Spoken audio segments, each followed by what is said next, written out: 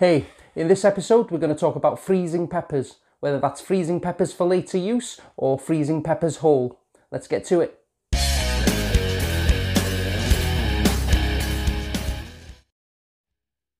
Now you can freeze peppers a number of ways, but it doesn't matter if you're freezing jalapenos or if you're freezing big bell peppers. The principles are all the same. It's the air that gives the peppers freezer burn and deteriorates them, so you need to get rid of as much of the air as you can. So there's a number of things that you can use to freeze peppers. You can use these freezer bags. They're pretty hard wearing and they've got a Ziploc bag so you can close them down tightly.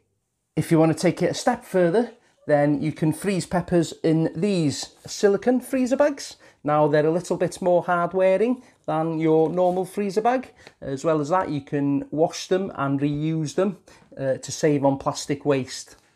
Now um, your silicone bags and your freezer bags will keep your peppers freshly frozen for up to three to six months. Um, they won't stay as crisp as they used to be, but um, they'll definitely stay as hot and as tasty. Now, if you want your peppers to freeze indefinitely, then you need to use a vacuum packer. Freezing your peppers are a good way of preserving your peppers for all year round use. You can do other things with peppers, you can uh, pickle them, you can turn them into chutneys, and uh, there are many other ways of preserving your peppers. I'm going to create a preserve your pepper playlist and I'll uh, just pop the link up there now for you.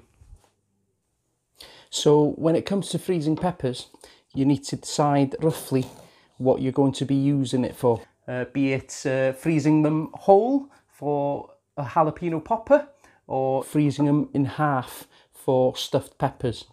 As a general rule of thumb, if the pepper is a large sweet one or a bell pepper, then I tend to take out the stalks and the seeds. Um, this just means that when it comes to removing the air out of the bags, you can squash the bag into the pepper and then that way you can remove as much air as you can. For small peppers like jalapenos or super hot, I just tend to remove the stalk and they're good to go in like this. And if you're only going to cook with your peppers, then you can also chop your peppers up and put a few chopped peppers in the bag. Some people will pop their peppers on a tray and quick freeze them for an hour before they put them into the bag um, to stop them sticking and uh, so they can pull out the individual peppers. Uh, I don't bother doing this at all. I tend to find that uh, you get rid of more air if you uh, put them in the bag first before freezing them. And uh, as well as that, um, I'll just freeze them in smaller batches um, if I need to use it for a smaller recipe. So I have all my peppers prepped and for the silicone bag and the freezer bag, what you need to do is uh, remove as much air as you can out of the bag before closing it. Uh, tip would be to uh, just close the bag all the way up to there and then pop a little straw in the end and suck through the straw to remove all the air and then close it up quickly. Um, for the vacuum packer, you want to make sure that your peppers, if they're big ones like this, that they're relatively flat so that the uh, plastic bag can go into the holes there. So uh, let's pop this one in. And there we go. It's uh, sealed up nicely.